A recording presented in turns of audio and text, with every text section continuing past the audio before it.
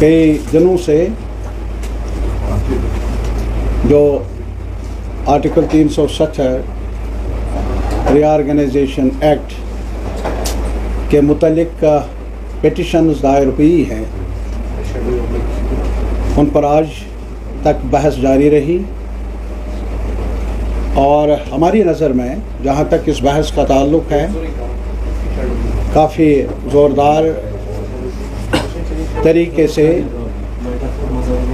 Petitioners का मौक़ पेश किया गया अदालत आलिया में।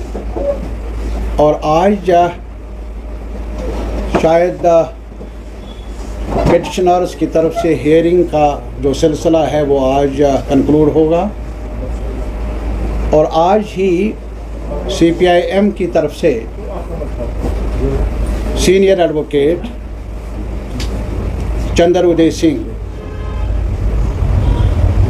और advocate on record P V Dinesh उन्होंने अपने दलाइल पेश किए और अभी भी जारी है। और इसके अलावा आज ही मौका मिला है, हमारे एक और, जो सीनियर एडवोकेट हैं। उनको मौका मिला है इंटरवेंशन एप्लीकेशन पर राय देने का, बहस में शमूलियत का, और कि उन्होंने रिटर्न अपने आर्गूमेंट्स भी सबमिट किए हैं। वो सीनियर एडवोकेट हैं, मिस्टर सुरेंद्र नाथ शायद आज कंक्लूड होगी बहस। पिटिशनर्स के, जो पिटिशन्स के मुतलिक, और कल से शायद सरकार को मौका मिलेगा। लेकिन जितने भी वकला हमारी तरफ़ से पिटिशनर्स की तरफ़ से पेश हुए, मुझे ये कहने में बड़ा इत्मीनान है कि हमारे दलाइल में वज़न हैं। आइन के ज़ाबितों को पेश करने का एक बड़ा मौका मिला और हमारा ये मौक़ क्या पाँच अगस्त 2019 को जो पार्लियामेंट में हुआ, जो बाद में प्रेसिडेंशियल आर्डर निकला, वो सरीहन आइन के दायरे से बाहर हैं आइन के ख़िलाफ़ हैं। और बल्कि ये कहना मुनासिब होगा आइन के साथ एक मज़ाक है। आज जबकि ये बहस कंक्लूड हो रही है हमारे वकला की तरफ़ से ये दलील रही और मेरा ये मानना है, ये सिर्फ़ जम्मू कश्मीर के मुतलिक आइनी हकूक़ का ही सवाल नहीं। इसमें शक नहीं कि जम्मू कश्मीर लद्दाख जो एक तारीखी हैसियत रखने वाली रियासत है, इसके आइनी हकूक़ के साथ जो खिलवाड़ किया गया मुल्क की कॉन्स्टिट्यूशनल हिस्ट्री में आज तक कोई मिसाल ऐसी नहीं है। इट इज़ अनप्रेसिडेंटेड असॉल्ट और इसके अलावा मैं ये भी कहूँगा क्या ये सिर्फ़ जम्मू कश्मीर के हदूद के अंदर ही नहीं है ये असॉल्ट बल्कि हमारा मानना है और हम हमने दलील भी दी है हमारे वकला ने honourable speak honourable Supreme Court में, और हमने बाहर मुल्क में भी कंपेन करके अपने हमवतनों को ये बताने की कोशिश की। ये सिर्फ़ यहीं पर बस नहीं, जम्मू कश्मीर तक ही ये असॉल्ट ये असॉल्ट है रिपब्लिक के फाउंडेशंस पर।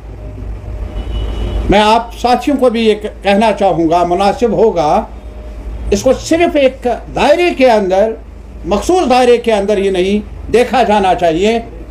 अगर कानून शिकनी का आइन की बेहरमती का ये सिलसिला ऑनरेबल सुप्रीम कोर्ट की तरफ़ से आ, रोका नहीं गया अंदेशा है मुझे एक होने की हैसियत से कि ये इसके वसी तर नतज निकलेंगे। और रिपब्लिकन, जो रिपब्लिक के मुतालिक कॉन्स्टिट्यूशनल आर्डर बना है कॉन्स्टिट्यूंट असम्बली की तरफ़ से, उसकी रूह को भी जख्म पहुँचने का एहतमाल है। It's not only assault on the rights of the people of Jammu and Kashmir besides it's an assault on the very foundation constitutional foundation of the republic of India itself. Is a larger issue और आज ये भी मैं कहना चाहूँगा कि जम्मू कश्मीर ने unique situation में अपनी यूनिक जो पॉलिटिकल सिचुएशन रही है, इस रीजन की, उसको ध्यान में रखते हुए एक वाहिद रियासत है जिसने एक्सेशन को एक्सेशन के मामले को, रिश्ता जोड़ने के मामले को नेगोशिएट किया।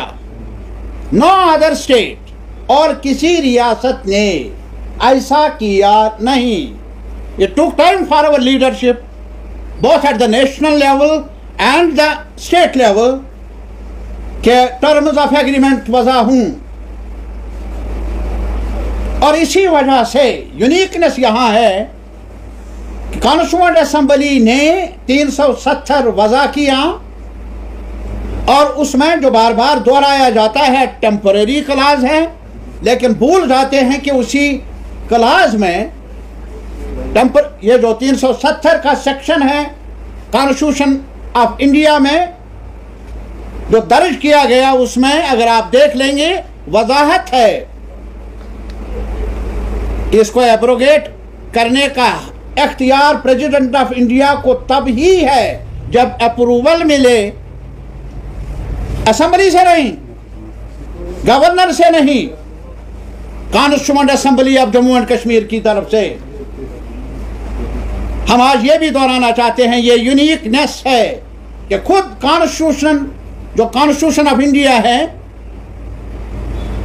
इसमें कहा गया है कि एक constituent assembly of Jammu and Kashmir भी होगी। और आज हम याद दिलाना चाहते हैं, जैसा कि हमारे बुकला ने बार बार दोहराया कि ये एक वाहिद रियासत है यूनिकनेस यहाँ है कि जहाँ एक कॉन्स्टिट्यूंट असेंबली बनी, मुल्क की कॉन्स्टिट्यूंट असेंबली के साथ साथ और यहाँ की कॉन्स्टिट्यूंट असेंबली को यह अख्तियार मिला कि जहाँ वो रिश्ते की तवसीक करे। रिश्ता Jammu Kashmir with union of India, लेकिन इसके साथ ही अपना अलग आइन भी वजह करे। आज कुछ लोग ये बरम फैलाने की कोशिश कर रहे हैं। हमारा मुतालबा है, जो हमने आर्ग्यू किया हमारे वकला ने, वो यही है कि कॉन्स्टिट्यूशनल एक ऑर्डर तैयार हुआ जम्मू कश्मीर के आवाम के लिए। In the form of constitution of Jammu and Kashmir उसको बैक जब से कलम लॉकडाउन करके गवर्नमेंट ऑफ़ इंडिया के नामिनू नामिनी के वसात से अखरार के वसात से उसको खारिज किया जाए। ये अनप्रेसिडेंटेड है। तारीख में आज तक जो कॉन्स्टिट्यूशनल हिस्ट्री है, हमारे मुल्क की, उसमें आज तक ऐसी कहीं मिसाल नहीं है। यह दुरुस्त है कि आज तक 370 को पायमाल किया गया, कमज़ोर किया गया, लेकिन यह भी दुरुस्त है। पाँच अगस्त 2019 को जड़ से ही उखाड़ा गया उस ऑर्डर से जिसको चैलेंज किया है सीपीआईएम ने और भी पॉलिटिकल पार्टीज़ और भी आ, काफ़ी काफ़ी शख्सियतों ने। और मैं ये भी याद दिलाना चाहूँगा महाराजा हरि सिंह के वक्त में हमें परमानेंट स्टेट सब्जेक्ट राइट्स मिले थे। परमानेंट स्टेट सब्जेक्ट राइट्स उन्नीस सौ सत्ताईस, उन्नीस सौ अठतीस कि बाहर वाला ज़मीन ना खरीदे। और यह उस एजुटेशन का नतीजा है जो पंडितों ने, हमारे भाइयों ने, डोगरों ने, कश्मीर में नहीं था उस वक्त।